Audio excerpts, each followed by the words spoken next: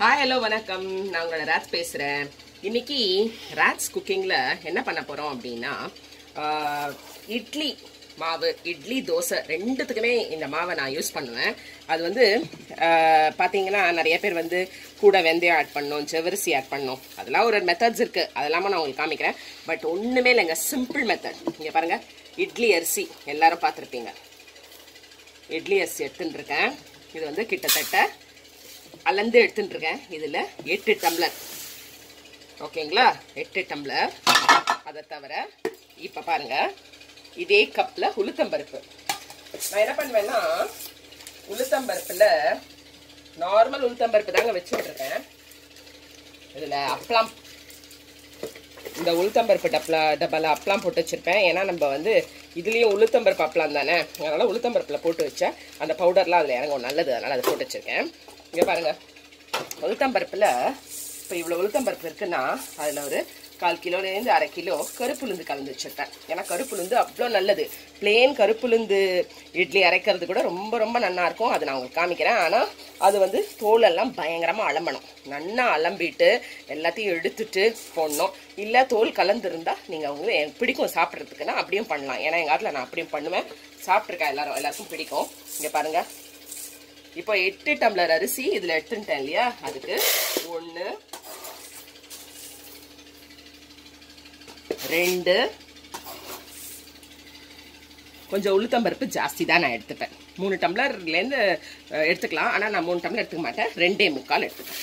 ரெண்டே முக்கால் எட்டு டம்ளருக்கு ரெண்டே முக்கால் உளுத்தம்பருப்பு எடுத்துட்டு நல்லா ஊற வச்சுடுவேன். ஆக்சுவலாக நிறைய பேர் ஓவர் நைட்லாம் சோக் பண்ணுவா. நான் அதெல்லாம் பண்ண மாட்டேன். இப்போ சோக் பண்ணுறேன் இப்போ பாருங்கள் ஃபார் எக்ஸாம்பிள் மார்னிங் வந்து இப்போ நான் ஒரு லெவன் தேர்ட்டிக்கு நான் சோக் பண்ணுறேன்னு வச்சுக்கோங்களேன். ஈவினிங் ஃபோர் ஓ கிளாக் அரைச்சிடலாம்.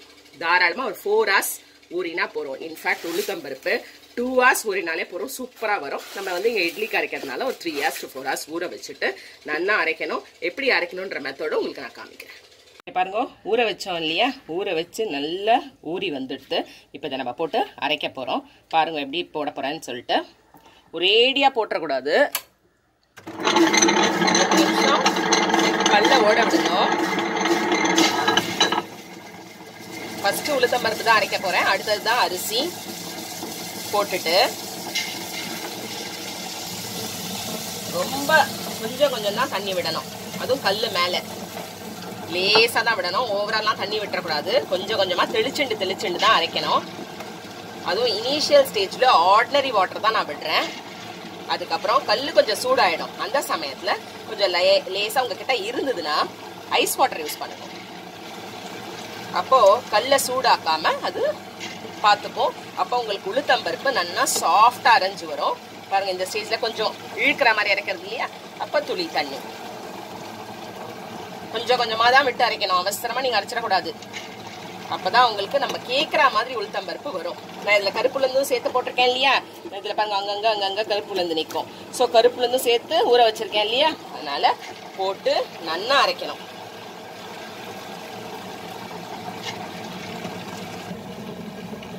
பாருங்க எப்படி ஓடிட்டு இருக்குன்னு இந்த ஸ்டேஜ்ல கொஞ்சமா தண்ணி விட்டுக்கிறேன். நல்லா அரையட்டும். அரைய அரைய. கொஞ்சம் கொஞ்சமா தான் தண்ணி தெளிச்சுண்டு அரைக்கணும்.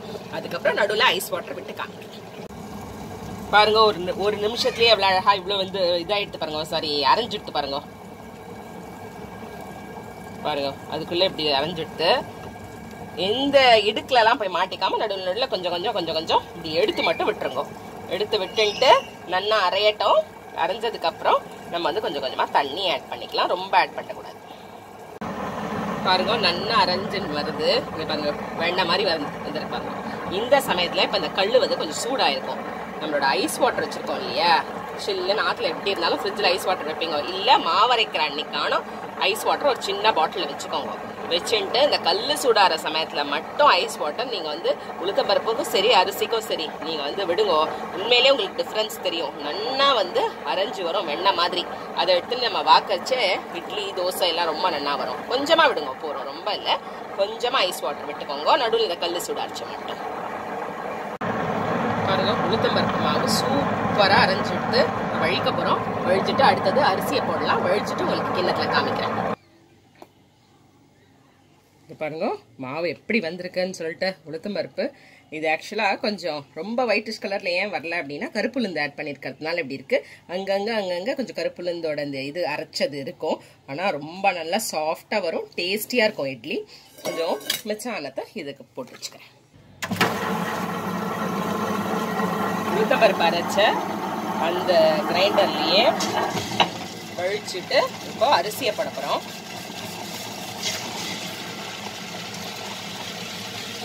லேசாக அரைய அரைய அரைய தான் நம்ம போடணும். அப்படியே உடனே கிடுகிடுன்னு போட்டேங்க. அப்படியே போய் ஸ்ட்ரக் ஆகி கிரைண்டர் இங்கே பாருங்க. லேசாக தண்ணி விட்டுக்கணும்.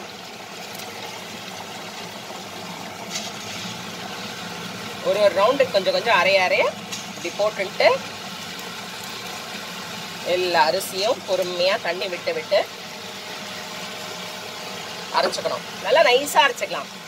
உளுத்தம்பருப்பாவது லைட்டாக குறக்குறப்பு இருக்கலாம் இல்லை மழுக்குனும் அரைச்சிக்கலாம். ஒன்றும் பிரச்சனை கிடையாது. நம்ம அரிசியை நல்லா மழுக்குனே அரைச்சிக்கலாம். சாஃப்டாக வரும் இட்லி. உங்களுக்கு பண்ணி காமிக்கிறேன் பாருங்க. இது பாருங்க குறை குறை குறை குறைன்னு அரைய அமைச்சுட்டு இந்த ஸ்டேஜில் கல் வந்து சூடாக இருக்கும் இல்லையா? ஐஸ் வாட்டர் விட்டுக்கலாம்.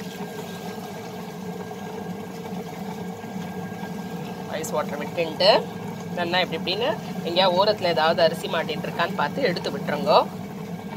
எவ்வளோ ரெக்குவயர்ட் தண்ணியோ விட்டுக்கோங்க. இல்லைன்னா அரிசி வந்து அரைஞ்சுட்டு கெட்டியாயிடும். அதனால் இதை விட்டுடுங்க. இன்னொரு அஞ்சு நிமிஷம் நல்லா அரைஞ்சிடும். அரைஞ்சிட்டு நான் உங்களுக்கு காமிக்கிறேன். இங்கே பாருங்க. நம்ம அரைச்ச மாவில் இட்லி பண்ணியிருக்கேன். இட்லி வந்து நார்மல் ப்ராசஸ் தான். இட்லி தட்டு எடுத்துட்டு எண்ணெய் விட்டு நம்மளோட மாவை விட்டு விட்டு விட்டு இட்லி பண்ணியிருக்கேன். இங்கே பாருங்க இன்னும் கொஞ்சம் நிறையா மாவு விட்டுருந்தா நல்லாவே பெரிய இட்லியாக கூட வந்திருக்கும். சாஃப்டாக வந்திருக்கு இட்லி. அங்கங்கே அங்கங்கே லேசாக கருப்பு உளுந்து தெரியாது பாருங்க. நம்ம வந்து பியோர் உளுந்து ஒயிட் உளுந்து போட்டால் ஃபுல்லாகவே இட்லி வெள்ளையாக இருக்கும். இது கருப்பு உளுந்து போட்டிருக்கிறதுனால கொஞ்சம் கலர் மாறி இருக்கும் மற்றபடி ரொம்ப ரொம்ப ரொம்ப சாஃப்டான இட்லி நமக்கு வந்திருக்கு பாருங்க.